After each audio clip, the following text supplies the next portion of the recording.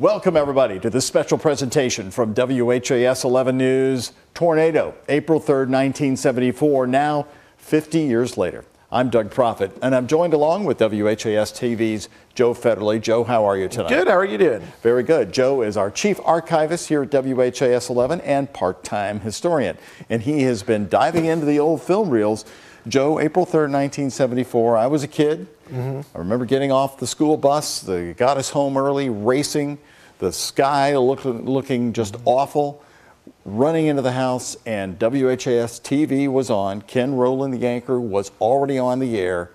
Uh, and April 3rd, 1974 is a day I'll never forget. And you find most people in Kentuckiana about my age say the same thing. Right. Now, you were able to get us still. WHAS was on the air at your house? We never lost, we never lost power, but I've since learned from our folks who worked here so many years mm-hmm. that they turned on the backup generator the minute the tornado reports were coming in, just in case and that kept WHAS TV and radio on the air. We never lost hmm. power. It became such an important voice for saving right. lives. Well, the very first part of this special you're going to see is Dick Gilbert. He was in the helicopter and he followed it and he was telling everybody, he was on HAS radio and television, right?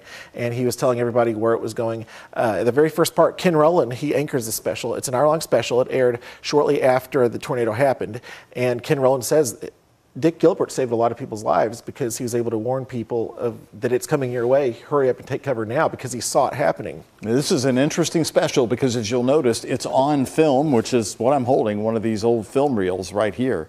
Uh, and Ken explains, and Ken has, is now deceased, uh, but we did interview him many times over the years. He was a lovely man, and I enjoyed talking to him about his stories because his delivery was so calm and so matter of fact. He never cracked, he never broke, right. even though he was telling people things like, the Louisville Water Company has been hit. You can't use right. the water anymore. We've never had a disaster like that. And Joey also says in this special, the reason why they're doing this special mm-hmm. is because they right. got so much mail from people who mm-hmm. didn't see Channel 11 after the power outages hit. Right, he says that. There's so many people. He reads this one letter from this lady who says she couldn't watch it. She would have wanted to have watched it, but she doesn't want to turn into somebody who just drives past the houses to look and gawk. So that's what that's the reason why they produced this, so people could see all the coverage that we did.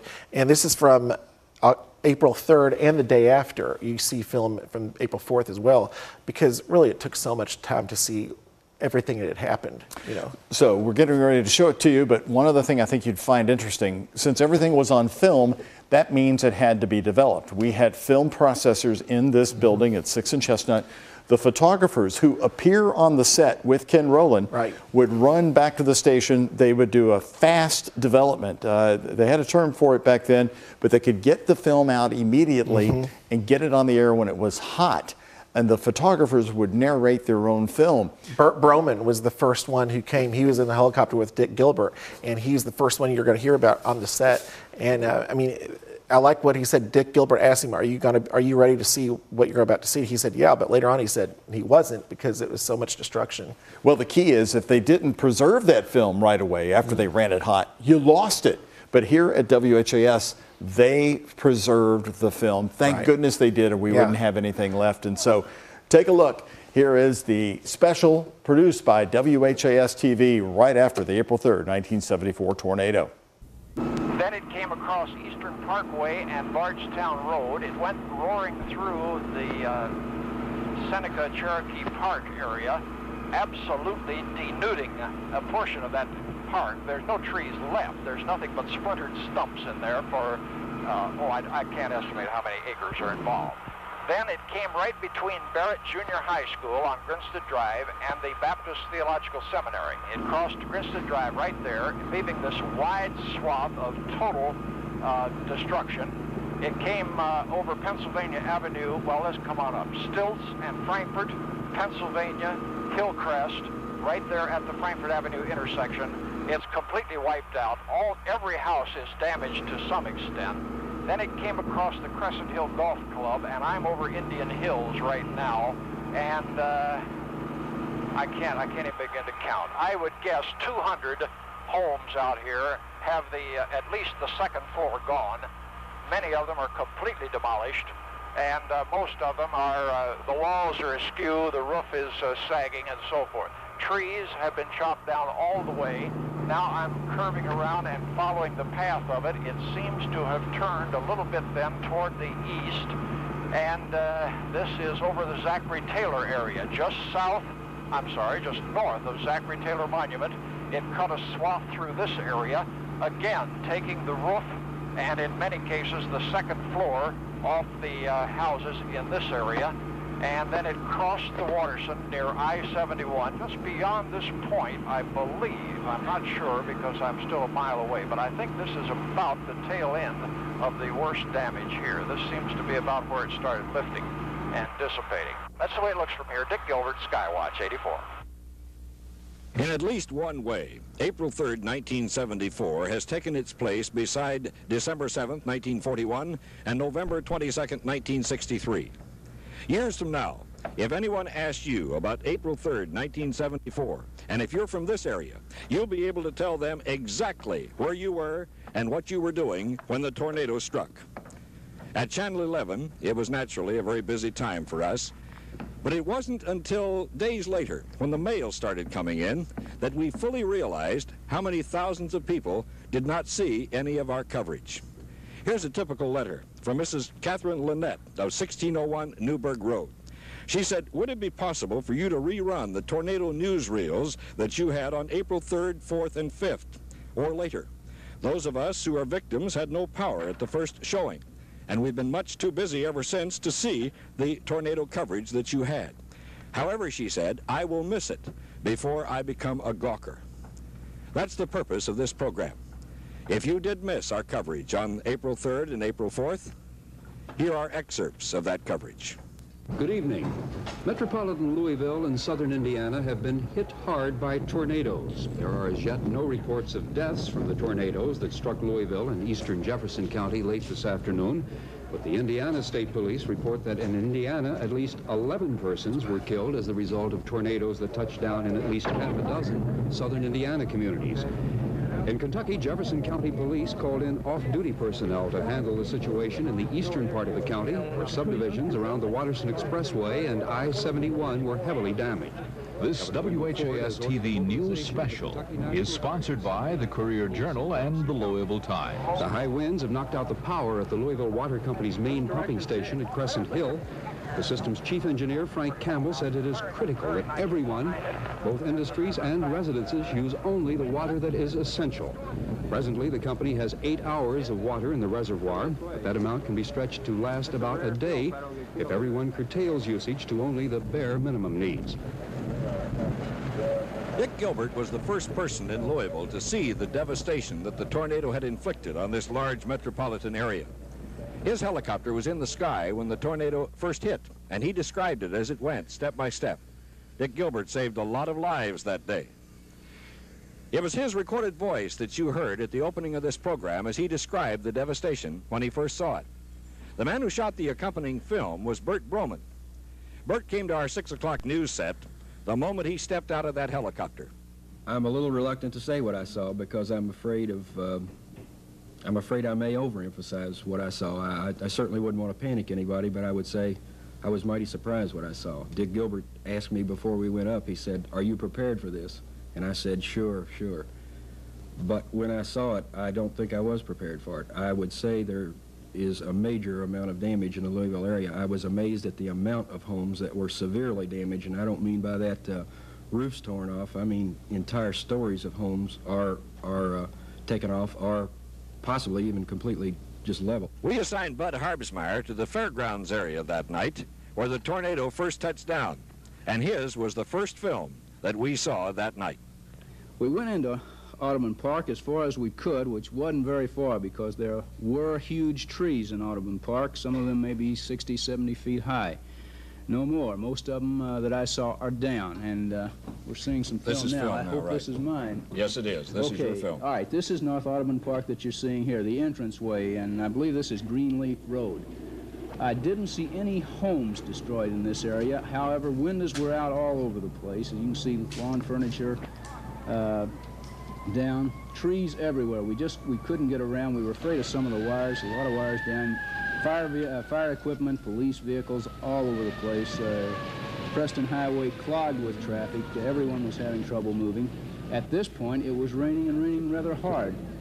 Uh, this is a building across the way. I believe it's some kind, some sort of manufacturing place. It's 3118 Preston Highway, and it uh, it had its roof demolished. Uh, it had collapsed. Uh, again, we were able we were not able to find out whether anybody had been hurt or not. And here we we coming in. Uh, we are coming into the fairgrounds complex now, and uh, this is the eastern side of the fairgrounds complex. There you see the uh, little out of focus film there. There, those are the horse barns, or what's left of the horse barns. As you can see, uh, that one was completely smashed. Panning over now toward where the RV vehicles were parked, and uh, well, there's some of the damage from again from the Eastern Exposition Wing. Uh, the uh, and there's a vehicle. That, that's a, a recreational vehicle. There were perhaps 20 or 30 of them parked in the lot uh, at Freedom Hall. Most of them turned over, thrown up against each other, or suffered debris damage from, uh, from uh, the roofs. That 6 o'clock newscast included a number of severe weather forecasts for other nearby areas. And there were even reports of scattered earth tremors in southern Indiana. It also included a summation of where the tornadoes had hit and where the known fatalities were. Our next special coverage on that night of April 3rd was a special at 7.20 p.m. We'll see it in a moment.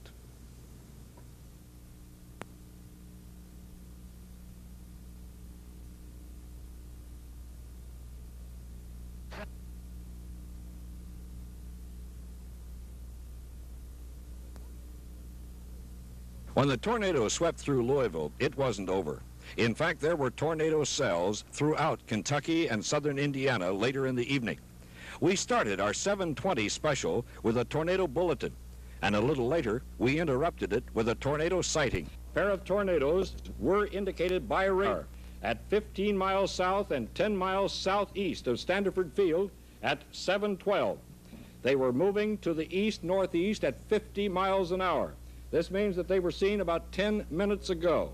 We repeat, a pair of tornadoes were indicated by radar at 7.10 p.m. 15 miles south and 10 miles southeast of Standiford Airport in Louisville. These tornadoes are moving to the east-northeast at 50 miles an hour. If threatening conditions are sighted, be prepared to move to a place of safety. To report a tornado or other severe weather, place an emergency call to the nearest law enforcement agency for relay to the National Weather Service. The police department has just called WHS-TV, speaking for the water company. They say that the water supply in Louisville has fallen to a dangerously low level. This is because of the tornado that went through Louisville late this afternoon, crippling the water company uh, uh, uh, operation in the uh, Crescent Hill area. So you're asked, please do not use water. Please do not use water now until the water supply can build itself up again, because right now it has fallen to a dangerously low level. Please do not use water here in the city of Louisville. John Petrovich has been out in the area. We haven't really had time to talk to him ourselves, ladies and gentlemen. So uh, what I find out from him right now is well, what you're finding out. But uh, John has been in the hardest hit areas in St. Matthews and in the Crescent Hill area and in northeastern Jefferson County. John, uh, what do you know? Well, I've been out into the field two and a half hours, and uh, from the ground, and not from the air, but from the ground, it's, it's sure tragedy in some of the six-class cities and some of the subdivisions. Starting with the farthest point east, we have Northfield, the city of Northfield, which is uh, bounded by I-71. Alone in that subdivision, cameraman Kerwin Fisher and I counted 40 homes leveled, brand new homes that were These are expensive homes in that I-71 and Watterson Right, Expressway right. area, aren't they? P- Pieces, pieces of homes were lying on the interstate, shingles, roofs. Walls were caved in, uh, bedroom clothing, furniture was scattered all over. People were combing through their wreckage. People were coming into their homes from work. No injuries in that area when we were in there. People were helping one another. Firemen from the various volunteer fire departments were going from door to door. St. Matthews police departments were going from door to door. As we proceeded towards town, again, the same story in other cities and other subdivisions. Roll, uh, uh, Indian Hills, again, yeah, following the dip, following the curvature of how the tornado came, you have the same problem. homes leveled, flattened, partly destroyed.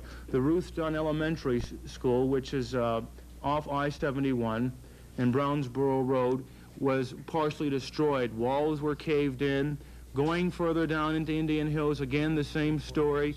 Subdivisions partially lost. Uh, pardon me for interrupting you, John. A funnel cloud has been sighted moving northeast from McNeely Lake. That is out in southern, extreme southern, southeastern Jefferson County. A funnel cloud has been sighted moving northeast from McNeely Lake. Please be on guard in those areas and, if necessary, take a place of safety in a basement or wherever you can. A funnel cloud has been sighted moving northeast from McNeely Lake. This is just moments ago. two, two late developments that happened while we were leaving. First of all, county police have set up barricades and blockades off of Brownsboro Road, the Indian Hill area, the Northfield area, to prevent looters from coming into the area. There were reports that looters were going into the area. Police blockades have been set up in that area to keep people away. Fire departments are going around and turning off gas lines. You can literally hear the gas coming from the ground in some of these homes. Very volatile situation, keeping them away from there. We talked to Dr. Donald Thomas from General Hospital, who was manning one of the emergency centers on Pennington and Brownsboro Road at the Second Presbyterian Church. He told us 30 minutes ago that General Hospital had 40 people in their room. One was serious in the operating room. And as of now, in terms of death count, he knew of two people that were killed because of the tornado, Uh, that is a general, or does he mean uh, citywide? citywide. All right. citywide. And he has no contact with Suburban Hospital or other hospitals. There is no communication. But from what he is told, Suburban is chock full with people from injuries. Right, and other hospitals are, are too.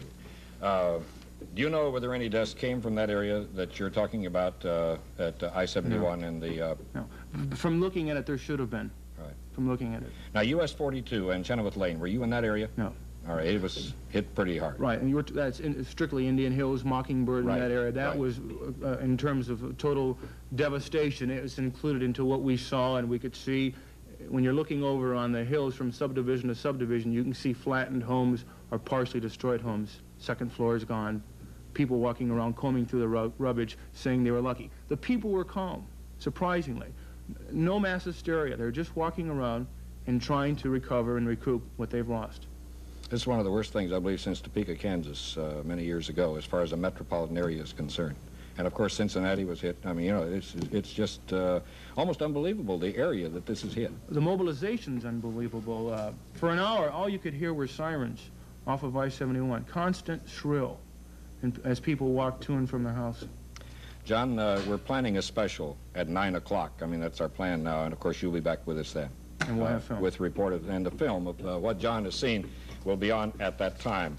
Uh, as we've said, a murderous battery of tornadoes has smashed into wide sections of the South and the Midwest today, killing more than 20 people, causing extensive damage and injuries, and many of those injuries and a great deal of that damage has been right here in Louisville and Jefferson County and across the river in Clark and Floyd counties, up at uh, Madison, Indiana, up in the Seymour and Brownstown area, and uh, others. Uh, the National Guard has been called to duty in the stricken areas, and in Indiana, a spokesman at National Guard headquarters in Indianapolis said that the National Guard is assembling in Indiana at six armories. They're New Albany, Madison, Salem, Seymour, North Vernon, and Monticello. In case you didn't hear us before or just tuned in, uh, there was a tornado cloud uh, funnel was uh, spotted near McNeely Lake just a few minutes ago, and it was moving northeast. And if you live in that area, uh, please be on guard. Also, a bulletin had come in of a tornado warning being in effect until 8.15 tonight. That would be for the next 45 minutes for persons living in Jefferson, Bullitt, Oldham, Henry, Shelby, and Spencer counties. A pair of tornadoes indicated by radar at 710 at 15 miles south and 10 miles southeast of Standiford Field in Louisville. These tornadoes would be moving to the east-northeast at 50 miles an hour. It would probably be this cell that caused that funnel cloud that we reported just a few minutes ago in the McNeely Lake area. Uh, it would perhaps be in that cell. Uh, that's all that we can tell you right now. Also, that the police department has asked that no one use any water. The Louisville water supply has fallen to a dangerously low level. The police department, speaking for the Louisville Water Company, said do not use water at this particular time in Louisville and Jefferson County, please. Uh, Bert Broman is uh, here with me, and uh, Bert, of course, was on our 6 o'clock news. You perhaps saw him at that time. Bert was up in a helicopter and saw most of the damage uh, from the air. And Bert, I understand that we have some film. Uh, is there anything you want to say before we start this film? No, I think the film will pretty well explain itself. All right. Uh, if we can roll that film, and Bert will tell us where we are. This is uh, this is Seneca Park area, I believe. You might be able to see better on that big monitor, Bert. You know, if you'll notice, uh, most of the damage, the, the debris from the damage, uh, is lying all all in one direction. The trees all lying like uh, sticks laid out, like pickup sticks. Uh, This is going northeast through Crescent Hill now, right? northeast through Crescent Hill, right. Uh, the the damage uh, I thought was bad here. When I first saw this, I was I was really surprised. I couldn't imagine that it had done this much damage over this wide an area. But uh, unfortunately, it got worse as we went. There was a definite pattern starting at Crescent Hill out to the Indian Hills area. Uh, the the uh, the pattern of damage definitely got got much worse the further we went. This is still, I think, the, the generally the Crescent Hill area. Mm-hmm. Roofs torn off, um, trees toppled, power lines down. Now this is the water company. I'm sorry we, ch we changed shots. This is the reason we don't have any water, because it was damaged. Yeah, and this film is only about an hour and a half old, and we really didn't Right. have time to edit it properly, but uh, it, I think it gets the point across. Uh, I would only remind people uh, in the areas of any possible tornadoes at this point, for heaven's sakes, take it seriously.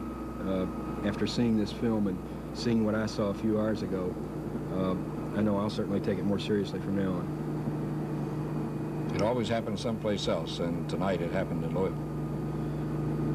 I, Where I are we headed now? I can't Toward- place... Toward the Indian Hills area? Yeah, I can't place it exactly, but it is out in the uh, far eastern part of the city, and I think you can see uh, One by the lack gone, by the lack gone. of houses, yeah, and the amount of debris that the damage is worse, and the further you go, as I say, the, the worse it gets. Some of the homes damaged, uh, I understand, were uh, in brand new subdivisions and very very expensive uh, brick homes. Uh, these weren't. Uh, these weren't a bunch of frame homes uh, or inexpensive. There's a power line down. There are power lines down in a great many areas of the county, and they're high voltage lines, too. Go ahead, I, this is getting out more toward the Indian Hills area. People on the streets, uh, not not panicked, but but uh, seem to be bewildered. They didn't know quite what had happened. Here you can see the amount of debris, and, and uh, to do that much destruction, there had it just had to be a tremendous force. And it, as you notice, uh, the further you go, the worse it gets. Trees just denuded and uh, Yeah, debris. snapped right off at the ground line, just just like uh, they were nothing. Uh, it, it reminded me the whole time I was photographing the thing, I kept having these visions of uh, like a public service announcement of uh, some disaster in India or something, and it was kind of hard to realize that this was this was Louisville, Kentucky. This is the Northfield, I believe, near I-71 and the Washington Yes. Expressway. Yes. These are all new homes in there, and that, that is the film that we have uh, at the present time. Anything else, Bert? No, I think we'll have some more film later, in uh, uh, I think the film speaks for itself. We plan that special now at uh, 9 o'clock, and of course, uh, we'll be seeing you then, and, uh, and have it in a more compact, uh, perhaps a more intelligible way, but you did a Right. wonderful job on it, uh, just getting the film just out of the processor and uh, putting on. We'll take a look at excerpts from that 9 o'clock special in just a moment.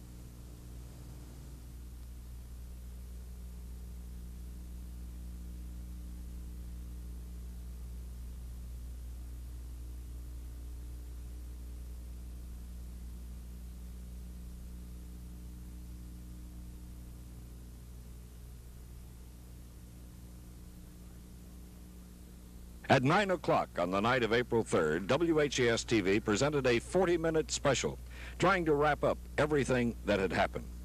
Here are a few excerpts. This is the Northfield film, uh, which is I-71 and the Watterson Expressway. Beautiful new homes, expensive homes in this subdivision there, only a few years old, some of them brand new, and this is the scene now. Scores of homes in some of the city's most luxurious neighborhoods north of the city were destroyed, as you see, northeast. The tornado cut a path through the Mockingbird Valley area, through rolling hills, then Indian Hills. Little girl carrying her dog. In the wake of the twisters, reports, I'm sorry to say tonight, of looting. The National Guard has been called to patrol this area, the Northfield subdivision. Bulldozers were also called in tonight to clear the way for emergency and rescue police. People were reported trapped in their homes.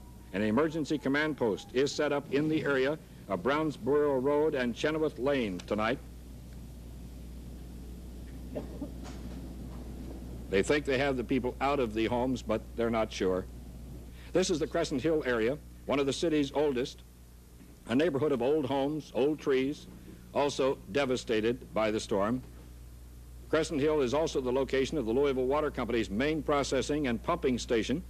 While the water plant apparently was not damaged itself structurally, the electric power substation that serves the area was completely knocked out. LG&E says it will be early tomorrow morning before power to the water company can be restored. In the meantime, residents of Louisville and Jefferson County are urged to conserve water. Please.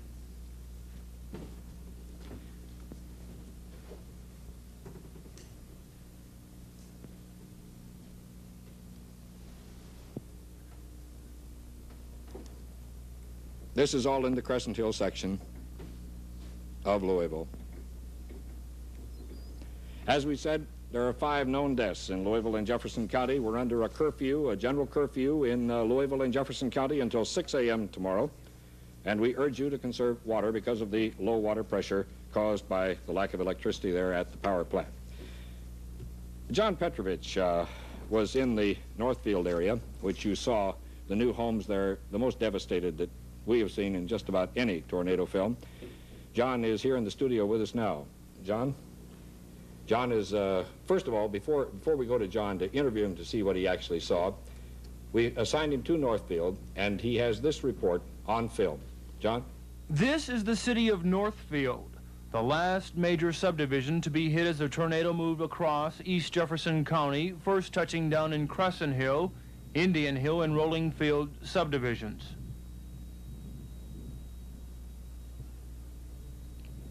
From the junction of Interstate 71 and the Watterson Expressway, all you could see were partial shells and scattered debris. Inside the subdivision, off-duty St. Matthews police officer James Burton was frantically running from house to house, checking to see if people were trapped. Burton? On Stanny Drive, one block over, county police and volunteer firemen were doing the same. Most of the residents were coming into the area from work or from shopping, as Diane Harrison, who had just returned from the Oxmoor Shopping Center. She saw her leveled home when we did. I just drove up about 15, 20 minutes ago. Where's your house? Right there. right there. It was right there. Are you all right? Yeah, we were fine.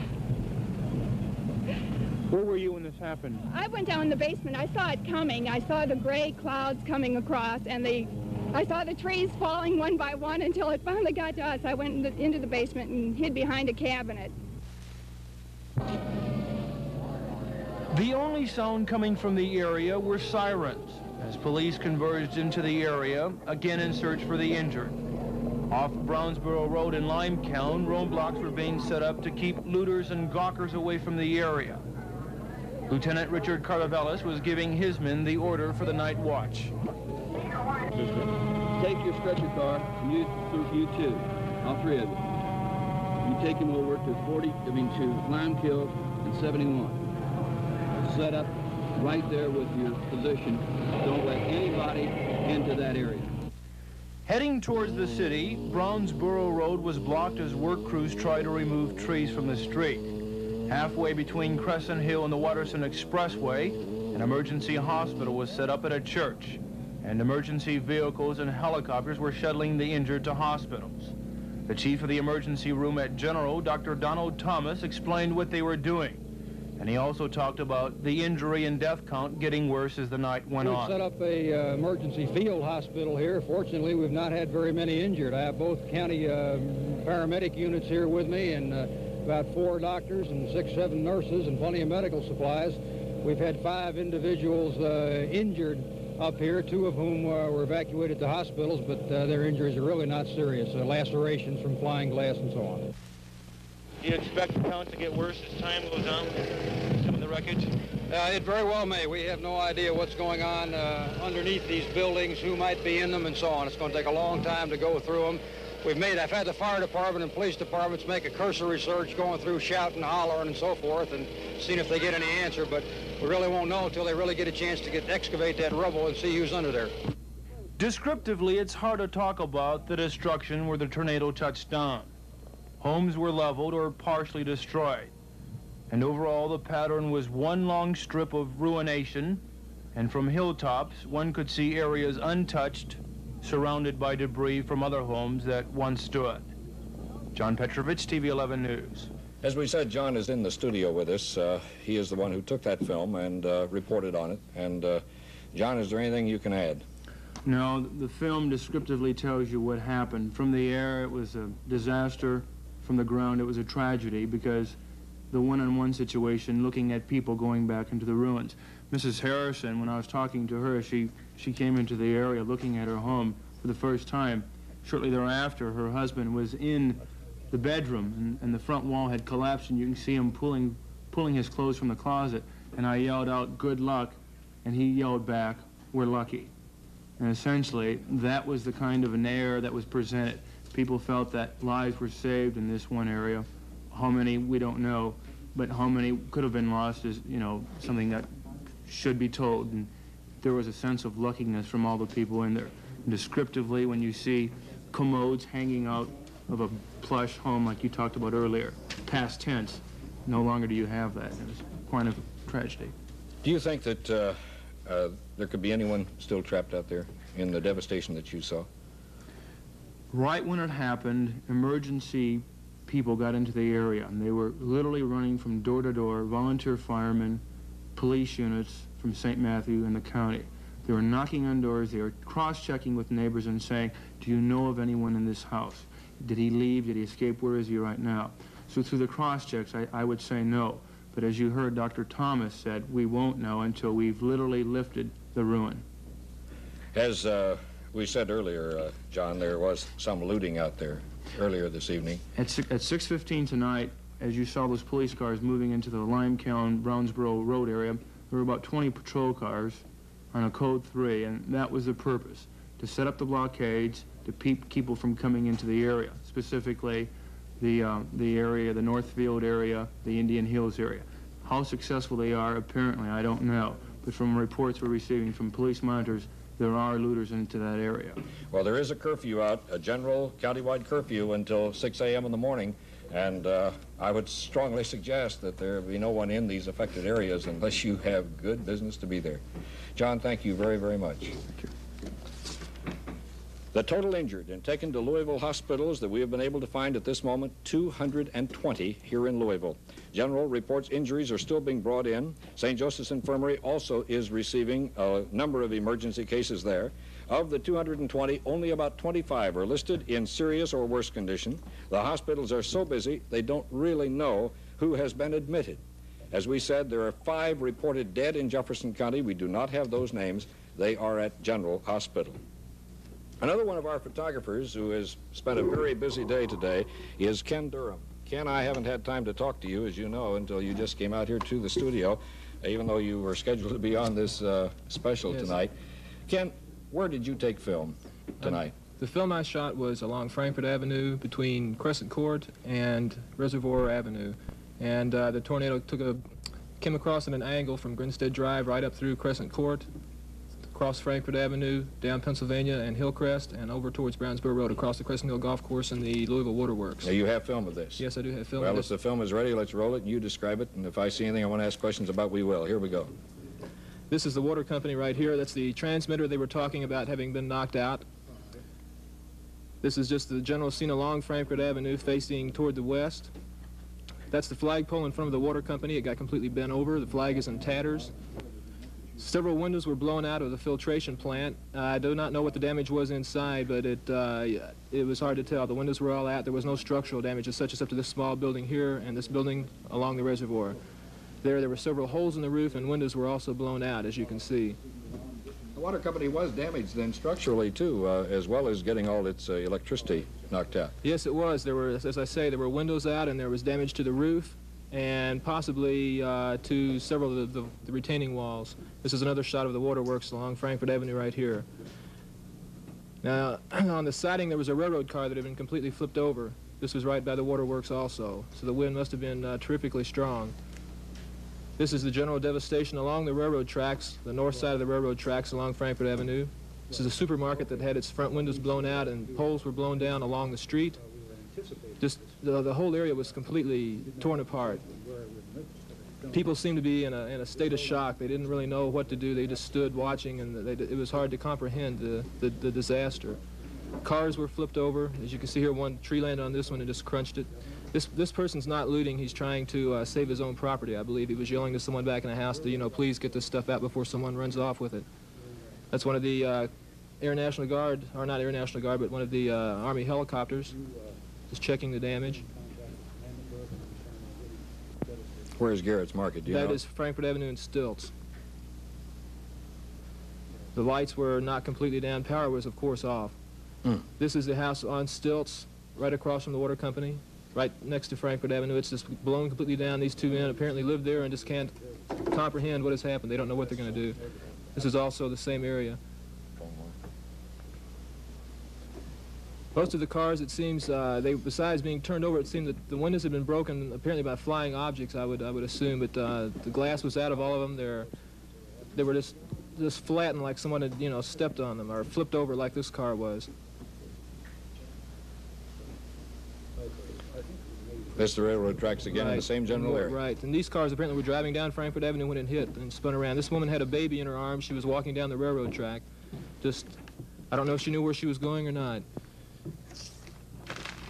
Most, or a lot of the houses had uh, just walls torn out like this one right here, or roofs torn off. They weren't completely flattened as they were out further along Brownsboro Road, but they were damaged quite heavily. A lot of trees were torn down too. There's the, the, the streets were impassable. Hillcrest, Pennsylvania, Stilz, Crescent Court. This car was turned over and just crushed on the, from the top, as you can see. Pieces of clothing and pieces of metal, scrap were up in the trees, as you can see the top of that tree.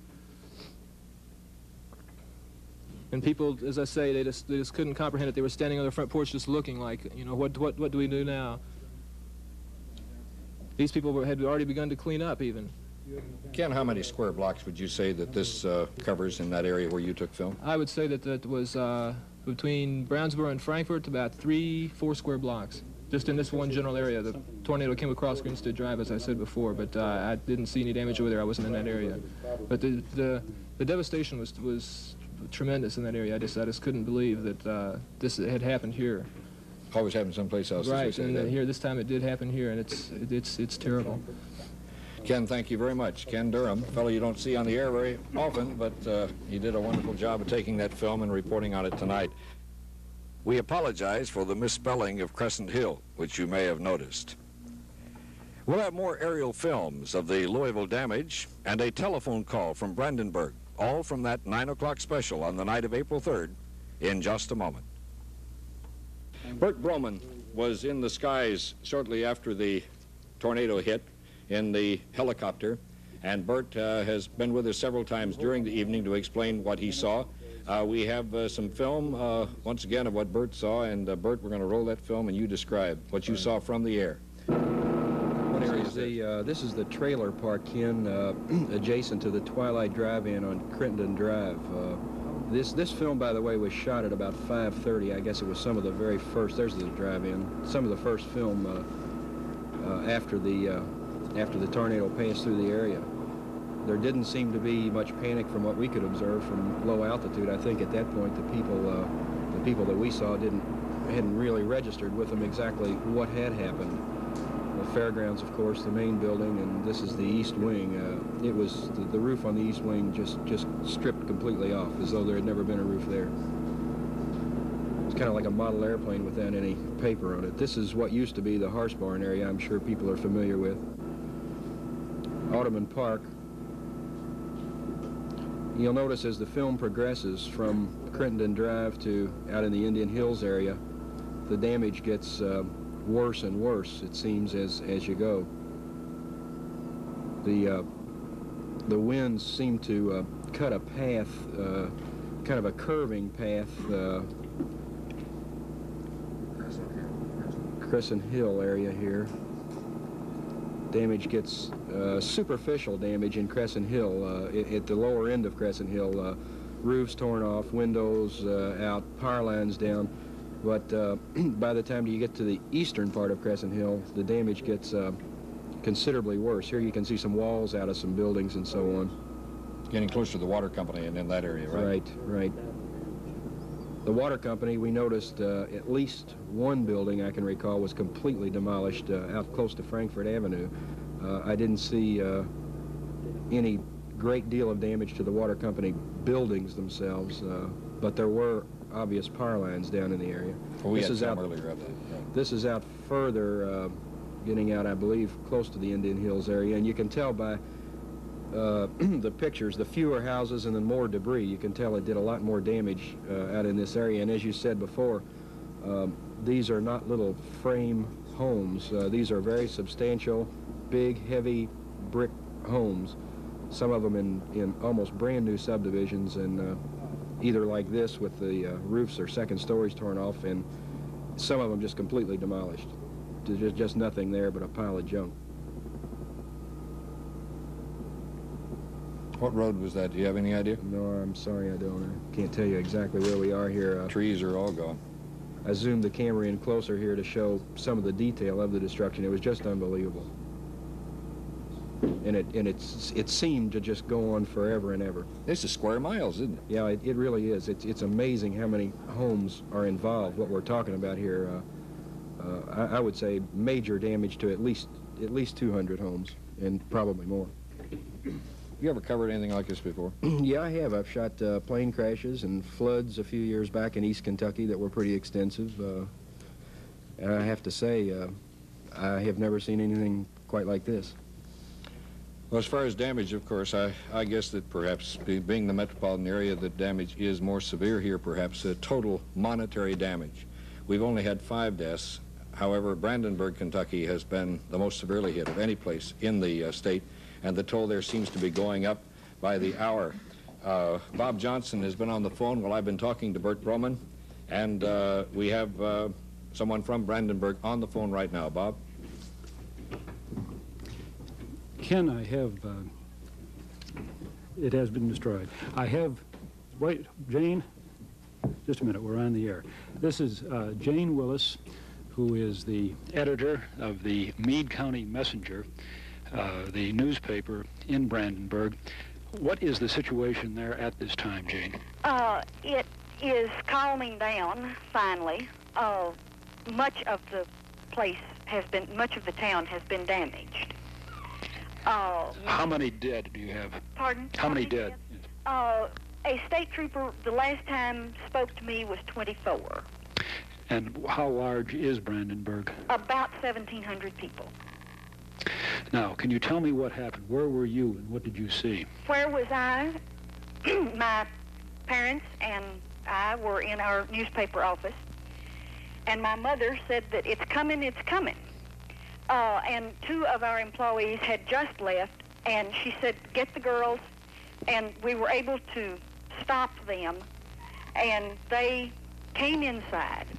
We all got in the basement stairwell, and at this time I said, oh, we ought to open a door. And my mother went to the big side door and opened it, and the wind forced her, knocked her through a small space into the basement stairwell. If that hadn't happened, I'm sure the building would have fallen down. Uh, the building next door to us did fall down.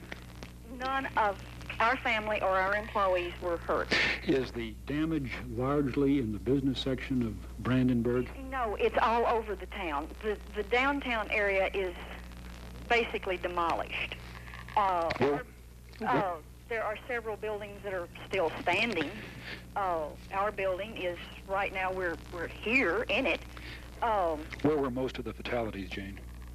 all over all over the town. Did you have any kind of warning that this was going to happen, or was it on you so quickly? It just happened very quickly. Uh, I was told that the local radio station said, "My lord, there's a tornado coming by. Get to cover quick." And uh, at that time, the tornado hit them and broke their tower off. Um, And I understand also that the power facility there has been destroyed? yes, the rural, uh, the RECC has been largely damaged. Uh, at least half of the building is in in rubble. Now, I was told one man was killed in that building. are the emergency facilities adequate there? Do you have all the medical help that you need? Uh, yes, I saw some people that I know from the Fort Knox, uh, Ireland Army, the emergency hospital, uh, at our clinic. As far as I know, we uh, we're being, you know, as adequately taken care of as we can be. Thank you very much, Jane Willis. Okay, thank you. We have been talking with Jane Willis, who is the editor of the Meade County Messenger. Meade County, Brandenburg, hit very hard. Brandenburg, a town southwest of Louisville on the Ohio River. Ken? Shortly after it hit Brandenburg, of course, the same cell hit Louisville and Jefferson County, and northeastern Jefferson County, and on up through the Ohio Valley. Southern Indiana was very hard hit. At least 16 people have been killed in Indiana. Some of those were in northern Indiana, a few in central Indiana, most of them in southern Indiana. Jim West spent the evening after the tornado in uh, southern Indiana, and uh, he has this report, and, and we'll talk to him. He has this report from Palmyra. Well, Ken, the tornado hit at mid-afternoon prior to the storm which moved through the Louisville area. The tornado cut a path at least a mile wide from the area of DePauw through Palmyra, then into the Borden and Martinsburg areas. Indiana State Police say the town of Martinsburg was wiped out. 37 homes in the Daisy Hill section of Borden were leveled, killing one person, injuring 41 others. In DePauw, one woman was killed, eight others injured, nine homes and 12 mobile homes destroyed. Here at Palmyra, state police say as many as 70 homes were destroyed. These border US 150, many just a couple of years old. The highway was closed for over an hour with downed wires and trees. Gene Hornsberry was at home with his wife and two children when the tornado struck. And we talked with him moments after it happened. Well, me and my wife saw this uh, cloud start to form back in that direction there, and it started twisting around, so we figured it was a tornado coming. And we stood there at the door and watched it for a while, and it finally uh, got worse, so we headed around the house and got under the house there. Got in this corner right over here, and it lifted the house right off the foundation there, and I thought it was going to take us out with it, too. We're in the crawl space right under the house there, right next to the concrete. Did it lift it right over your heads? Yes, sir, it did. Uh, my wife had a coat in her hand. It jerked it, jerked the coat out of her hand, and uh, I thought we were coming up with it, but we were lucky enough to get by without any injuries. The startling films from other southern Indiana communities and from Brandenburg, Kentucky were taken the next day. We'll see those in a moment. Bud Harbsmeyer was in Brandenburg when the sun came up the next morning. His report from there was part of a special one-hour newscast at 6 p.m. on April 4th. Brandenburg is a farm community of about 1,700 people. It is located on the Ohio River some 40 miles from Louisville. It is, or was, rich in historical heritage. Now it is a shambles. Mrs. Mary Jenkins' husband lost his funeral home business, and the family lost most of their belongings. I found her in her yard today trying to salvage some of the pieces. I asked her about the storm. When you got out of the basement and looked around, what were your impressions? It was frightening. Yes.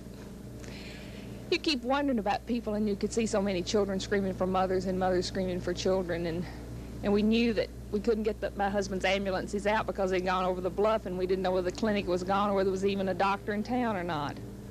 My own family wasn't hurt. The tornado ripped across high ground overlooking the Ohio River. Then it dipped down onto Main Street. Buildings which had stood for over 120 years now were no longer recognizable. One of the oldest buildings on Main Street was the historic Hotel Meade. It had been constructed in 1840. It had housed Confederate Colonel John Hunt Morgan once during the Civil War. Later, in 1869, Frank James and the Younger brothers had shot it out with lawmen inside. Now a converted apartment house, it was almost completely destroyed. One of the first policemen on the scene after word of the disaster got out was Muldraugh Police Chief D.L. Harris. He told me what he saw when he arrived. Here in town, uh, it was pretty clean as far as people. Uh, people had already got to them. Now in the outlying areas, uh, I didn't do it myself. A couple men on my department. Big people laying up in the middle of fields, uh, under a part of a barn, laying right out in the middle of a field, just laying right out in the open. During the night, police, National Guardsmen, and Army troops from Fort Knox patrolled the devastated areas, but there were no reports of looting. The Army was sent back to Fort Knox today, but police and National Guardsmen will be on hand for an indefinite time. The job of identifying the dead continues too. Outside of one of the schools in Brandenburg sit two large refrigerated trucks. One contains the bodies of identified victims, the other the remains of the unidentified. The dead range in age from children to the elderly. But even as the townspeople mourn their dead, there is talk of rebuilding. One local newspaper official said, if we have another disaster, it'll have to hit a new town. There's not much left to try to repair. Bud Harbsmeyer, TV 11 News, Brandenburg, Kentucky. Jim West returned to southern Indiana on April the 4th, both by helicopter and by car. It was about 2.30 yesterday afternoon that the tornado moved into the southern Indiana county of Harrison. The twister first touched down in the small communities of Milltown and DePauw. Trailers were overturned, homes and barns flattened. It was in DePauw that 47-year-old Joyce Lincoln suffered fatal injuries. Eight others were injured, around nine homes and 12 trailers destroyed in DePauw. The tornado then moved across eight miles of farmland and, in an exact northeasterly direction, came to the town of Palmyra. It was just south of that town that it was joined by a second tornado cutting across its path. Although missing the heart of the town, it did destroy around 70 homes south and east of that Harrison County community. At the Palmyra Conservation Club, rescue and shelter operations were being coordinated. It was in Palmyra that 77-year-old Lily Quiggins lost her life. Homes along US 150 were blown dozens of feet from their foundations. The storm continued to move northeasterly. The small community of Martinsburg only had about 70 or 80 homes, but the tornado did not spare even these. National Guard units, although active at each city where we visited, seemed to guard entrance to Martinsburg the most. Washington County Sheriff Clyde Nichols described the damage. 75 homes that are damaged or destroyed, and this is the hardest hit part of the county. We had a slight touchdown in Campbellsburg, and, uh, and a just a small section of Washington County on the Daisy Hill area. It was in Martinsburg that we met up with a helicopter tour of disaster areas by representatives from Indiana Governor Otis Bowen's staff and officials of the Indiana National Guard. The tornado then moved into the northwestern tip of Clark County into the Borden area. It leveled several homes along State Road 60 then devastated the subdivision known as Daisy Hills, killing 73-year-old Harvey Lee Peace and injuring 41 others. We talked with one survivor. I stood and watched three funnel clouds start down to the ground and they turned and went back up and then I heard a roaring noise and, and I saw what I thought to be smoke and stuff coming up over the hill, but it was a black cloud of wind, dirt, and everything coming up over the hill. And my little grandson asked me what it was, and I told him I thought it sounded like a train, but I knew it wasn't. And it just hit, and that's it. Another hard-hit area in southern Indiana was around Madison in Jefferson County. At least eight people are dead in the Madison, Hanover, and Chelsea areas. In Hanover, 37-year-old Margaret Lawson, her two-year-old son Mark were both killed. Also in Hanover, Ruth Kingerly and her unidentified child lost their lives. At the 1,300 student campus of Hanover College, students by the droves were packing for an early spring vacation. After the tornado ripped through the campus, tearing the top floors off two sorority buildings and felling the trees across campus, college registrar Robert McClue said only two students were slightly injured, but the campus will have to close for a couple of weeks. In Madison, an estimated five to 600 homes were affected. Damage was thought to be more than $10 million. The twister severely damaged the Indiana-Kentucky Electric Clifty Creek generating plant. Transmission lines were snapped and thrown into the Ohio River. At least 129 people were treated. 19 were admitted. Those fatally injured in Madison were 26-year-old Joan Gividen, 5-year-old Angela Gividen, and 9-year-old Dennis Reese, Jr. Jim West, TV 11 News. Bob Johnson, in the light of day, retraced the tornado's path through Louisville. The trees that once lined Grinstead Drive are gone, and so too are the houses. In the 2700 block of Grinstead, I counted 20 houses in a row that appeared to be damaged beyond repair, their owners picking through what was left. Lillian Elrod lived in this small stucco bungalow at 2769 for 40 years, during the time she taught French and Spanish at Atherton High School. Some of the Baptist seminary students came down the hill this morning to help. The storm had buckled the walls and taken the roof, but Lillian Elrod's Canton china was right there where she left it yesterday, not a scratch. She'll be moving in with her sister now, but she feels it won't be too hard to leave. Well, not now. I'll be glad to leave this shambles. I, am going to have to say it took a tornado to get me out of my house because I really have loved it and I've enjoyed every minute that I've lived here for all of these years.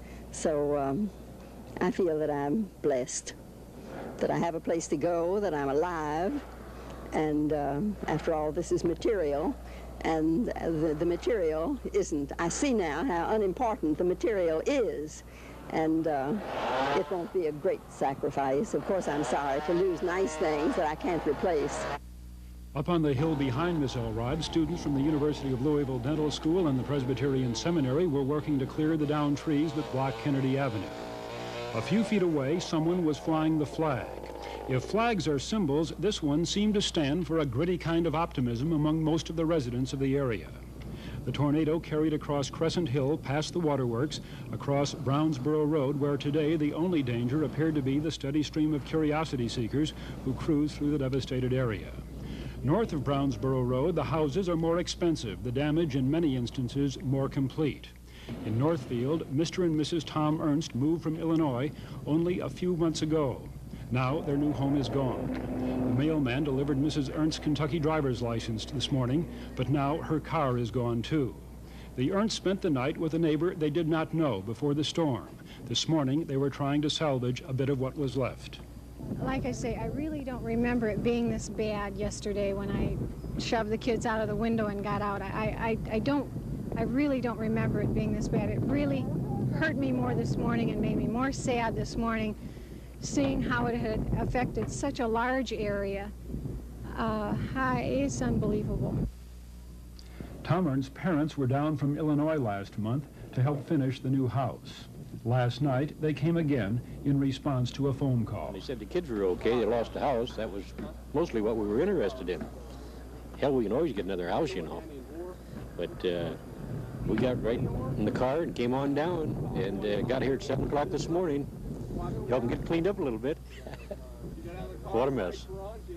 What a mess. Well, it'll all work out, I guess. It's just too bad. There's an awful loss there. My, these people, I feel so sorry for them. But I want to say one thing. The neighbors and the people have been outstanding, really outstanding. I've never seen anything like it in my life. You've got a good community here. I wouldn't mind living in it myself. Mr. Ernst is right. This disaster brought out the best in most people. For a while at least, the golden rule became the order of the day. It's strange that a storm that literally tried to blow us apart brought us closer together. There's one thing for sure, though. We don't mind answering our mail by repeating excerpts from our tornado coverage. But like you, we never want to repeat the experience. For the entire Channel 11 news staff, I'm Ken Rowland.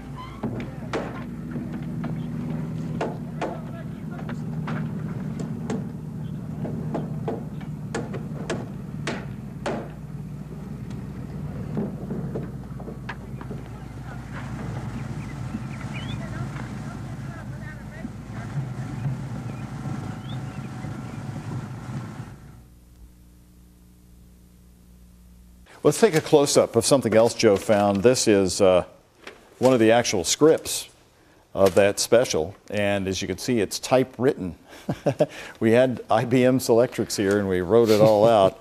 And here is the some of the old film, the film canisters there from that from that time. We really do have a lot to be thankful for because I mean they could have just re- aired that as is and we would have never even seen it again. But what's cool is I mean I love the people who worked here before us. They thought this is important enough to put on on film and it's been transferred to tape and it's been 50 years later and we still have it. I believe this is the first time anybody's seen this entire hour unedited for the past 50 years.